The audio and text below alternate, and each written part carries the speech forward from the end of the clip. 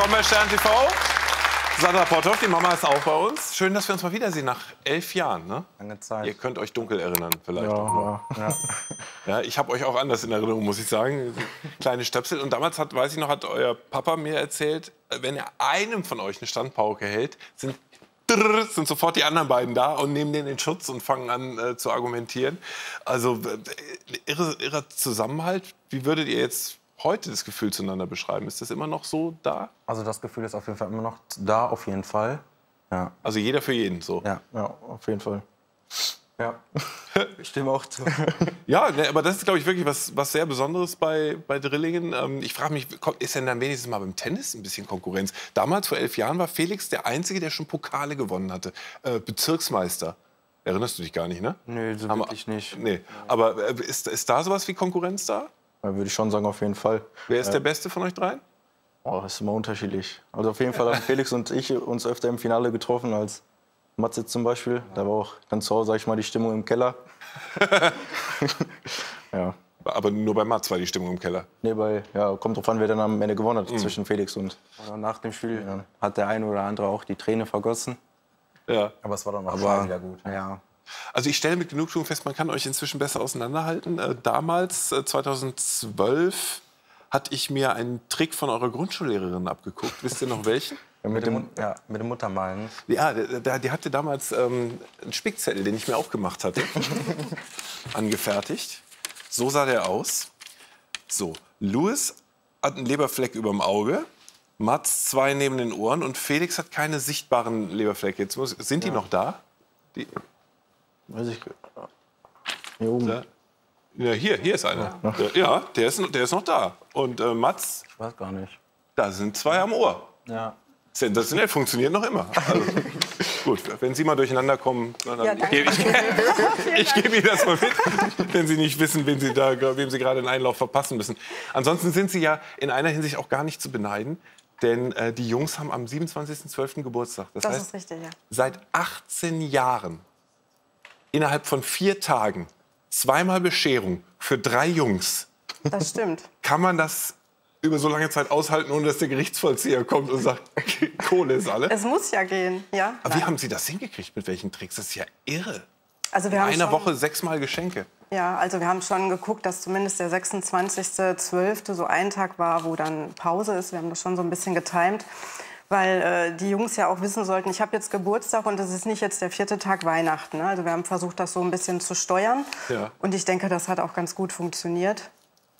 Ähm, wichtig war uns immer, dass dann auch die Geburtstagsgeschenke nicht in Weihnachtspapier eingepackt worden sind, dass So. man da so einen Unterschied hatte. Ich ne? kenne das. Das ich fühle blöd. euch. Ich bin auch Dezember Ja. geboren.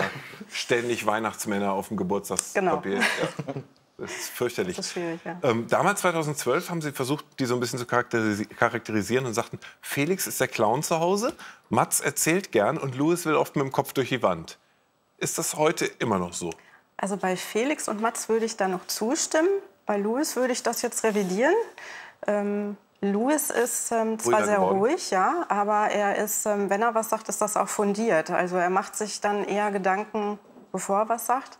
Mhm. Ist jetzt mein Eindruck. Du hattest das zwar in der Mats ein bisschen anders gesagt im Film, aber ich finde, ähm, es ist sehr ja, aussagekräftig, wenn er dann was sagt. Also denkt dann lieber etwas länger drüber nach. Ehrlich gesagt, Sie, Sie wirken alle drei wie wahnsinnig aufgeräumte, verlässliche Typen. Ähm, trotzdem. Aufgeräumt ist gut.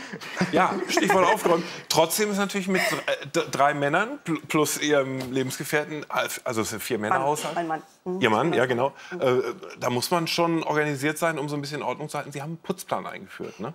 Das stimmt. Es ging nicht anders. Ja. Ähm, Ich, ich, ich will mal kurz testen, ob äh, die Jungs den verinnerlicht haben. Welche Farbe habt ihr im Putzplan? Was ist deine Farbe? Pink. Louis hat pink, stimmt. Ich habe blau. Ja, ja Mats hat blau. Und? Äh, ich glaube grün. Aha. Stimmt's? Ja. Ja, hat.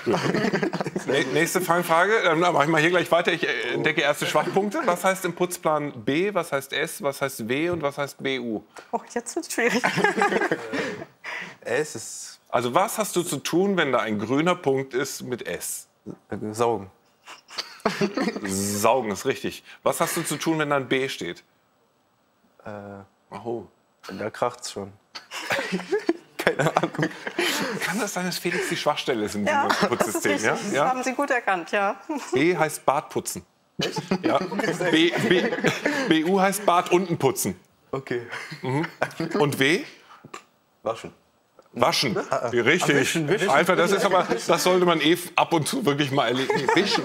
Nicht wischen, wischen. Okay. Also ihr, ihr bringt ihm das noch bei, ne? dass die ganze Arbeit an euch hängen bleibt.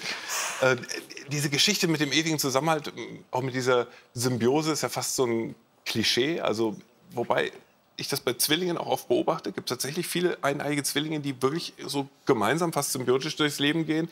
Ähm, wird sich das bei euch jetzt so im Erwachsenenleben verlieren? Was meint ihr, wenn ihr in die nächsten Jahre geht? Werdet ihr euch so langsam auseinanderleben oder bleibt diese Nähe? Also ich kann auf jeden Fall schon mal sagen, dass ich mit Luis und Felix nicht zusammen wohnen möchte. Ah. Ähm, ja, allein wegen diesem Putzplan, was wir gesehen haben, weiß ich natürlich, dass alles ähm, an mir hängen bleibt. Und darauf habe ich einfach kein, keine Lust. Okay, also so erste Absetzbewegungen jetzt aus, aus dem Drillingsbund. Wie, wie empfindet ihr das? Glaubt ihr, das wird sich so auseinanderentwickeln? Also eigentlich könnte ich so mit Felix auch nicht zusammen leben, aber mit Mats dann schon eher, sage ich mal. Aber Felix, du hast kein Problem mit den anderen beiden, oder? Nö, ich kann mit denen zusammen wohnen. Weil die immer so fleißig putzen, ne? ja. Ähm, ja, wie, wie, ist das mit ähm, Beziehungen? Gibt es in eurem Dreiergespann jetzt schon überhaupt den Platz, dass da auf einmal jemand reinkommt von außen und die ganze Aufmerksamkeit abzieht? Wie, wie sieht das aus? Wie Also gesagt, die bei mir- Aussage auch verweigern, aber Nee, also bei mir habe ich gerade zur, zur Zeit eine Freundin. okay. Ja. Und kann die gut damit auskommen, dass zu Hause noch zwei von ähnlichem Schlage sitzen? ja, das denke ich schon. Das kriegt sie hin. Sehr gut. Sind Sie schon bereit dafür, dass die Jungs sich irgendwelchen fremden Frauen an den Hals werfen? Ist ja für eine Mutter auch immer schwierig, ne? Ja, aber ich, ähm, das gehört ja dazu und ähm, bei uns ist auch jeder willkommen. Also Louis Freundin ist auch sehr nett und ähm, wir kommen gut zurecht. Ich habe sie gerne da. Ich denke, sie ist auch gerne bei uns. Und äh, von daher, das gehört dazu, das ist normal. Und ich finde das schön, wenn sie bei uns dann auch sind. So Also auch wir, wir werden ein Auge behalten auf dieses Leben. Bitte Bescheid geben, wenn die Flügge werden. Weil ich weiß, äh, ihr zwei arbeitet schon ne? beim Energieversorger. Mats äh, macht jetzt Abi und will dann Zur Polizei. zur Polizei. Dann oh, viel Erfolg für die dann noch Dank. folgenden Aufnahmeprüfungen. Wir werden gucken, was daraus wird. Toll, dass wir uns nach elf Jahren hier heute mal wieder gesehen haben. Ähm, Und ich bin vor allem sehr dankbar, dass ihr deutlich gesprächiger geworden seid als, als damals mit sieben. Das war harte, harte Arbeit. Also Mats, Felix und Louis, vielen Dank. Und Sandra Potthoff auch alles Gute weiterhin. Und Grüße an den Papa, bitte, der gerade krankgeschrieben ist, glaube ich.